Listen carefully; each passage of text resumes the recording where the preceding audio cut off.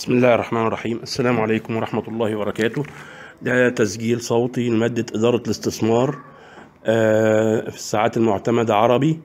آه، ما بعد الميد ترم آه، ودي هم ثلاث موضوعات إن شاء الله. الموضوع الأول ال- جزء نظري عن آه، الأسواق المالية. وهنعرف فيه يعني إيه السوق المالي؟ والسوق المالي ديت هي السوق آه، وتعريفها هي السوق اللي من من خلالها أو الوظيفة وظ- وظيفة السوق المالي آه، السوق اللي من خلالها بيتم انتقال الموارد أو الأموال من الوحدات الاقتصادية ذات الفائض للوحدات الاقتصادية ذات العجز من المقرض للمقترض. وبعدين تاني حاجة وده جزء نظري برضو يعني أول حاجة يعني إيه وظيفة السوق المالي أو يع- معنى السوق المالي ال- ال- اللي بيتم انتقال من خلاله الأموال والموارد الحقيقية من الوحدات ذات الفائض اللي هم المقرضين للوحدات ذات العجز اللي هم ال- المقترضين.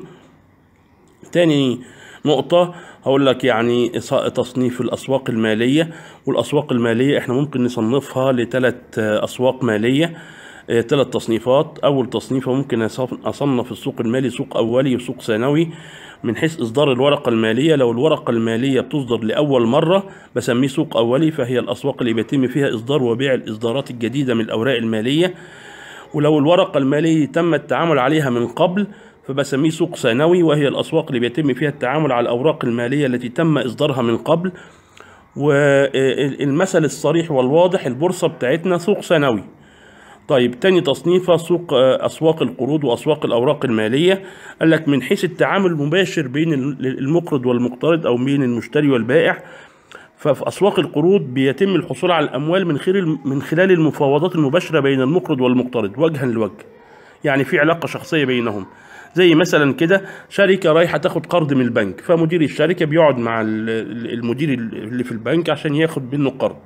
أو أنت رايح تشتري سلعة معمرة. ده اللي اسمه الائتمان الاستهلاكي المقدم لشراء سلعة معمرة. طيب آه، النوع الثاني أسواق الأوراق المالية. هنا لا توجد علاقة مباشرة بين المشتري والبائع. فدايما هناك وسيط والوسيط ده إحنا بنسميه سمسار الأوراق المالية. لو بيتم التعامل على سندات على آه، أدوات آه، قرض فبنسميه سوق لأدوات الديون. لو بيتم التعامل على أسهم عادية اللي هي جزء من رأس المال من حق الملكية بسميه سوق لأدوات الملكية. التصنيفة الثالثة ودي التصنيفة الرئيسية بتاعتنا بنصنفها الأسواق النقود وأسواق رأس المال ودي من حيث آجال التعامل. لو بيتم التعامل على أوراق مالية قصيرة الأجل بسميه سوق النقد.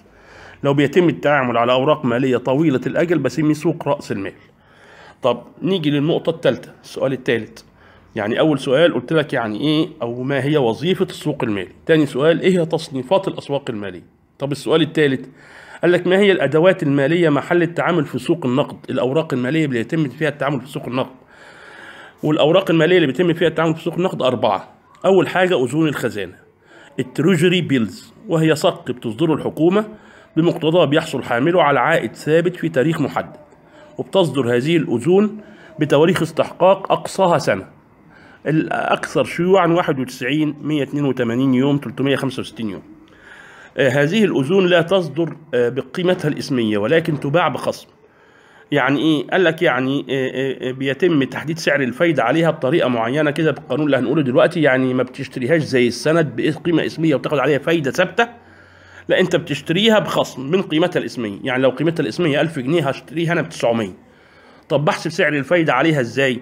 قال لك عبارة عن القيمة الإسمية ناقص القيمة البيعية على القيمة الإسمية في 360 يوم على فترة الاستحقاق في 100 يعني لو مثلا هناك اذون خزانة استحقاقها 182 يوم وقيمتها الإسمية 100 جنيه وكان أقصى سعر تم التوصل إليه 94 جنيه. قال لك يبقى سعر الفايدة عليها عبارة عن إيه؟ قال لي عبارة عن ال 100 ناقص ال 94 على 100 في 360 على 182 يطلع لي 11 و61 من 100% بتعتبر أذون الخزانة دي مجال استثمار ممتاز ومؤقت للأموال. ممتاز وإيه؟ ومؤقت. يعني عشان قصيرة الأجل يعني. بس هي مجال استثمار ممتاز ليه؟ قال لك لأنها تعتبر استثمار خالي من الخطر لأنها مضمونة من الحكومة. ودائما لها سوق ثانوي مستمر لو عايز تبيعها في أي وقت هتبيعها. وكمان لما تيجي تبيعها لا توجد مخاطر لإنخفاض قيمتها قيمتها ما بتنزلش. طب تاني حاجة قال لك تاني حاجة الأوراق التجارية ال commercial papers. والأوراق التجارية دي إحنا قلنا أذون الخزانة بتصدرها الحكومة. طب الأوراق التجارية دي قال لك بتصدرها الشركات وهي ببساطة وعد غير مؤكد بالدفع بتصدره الشركات المعروفة جيدا والتي لها سمعة ائتمانية عالية. والمقرضون بيشتروه.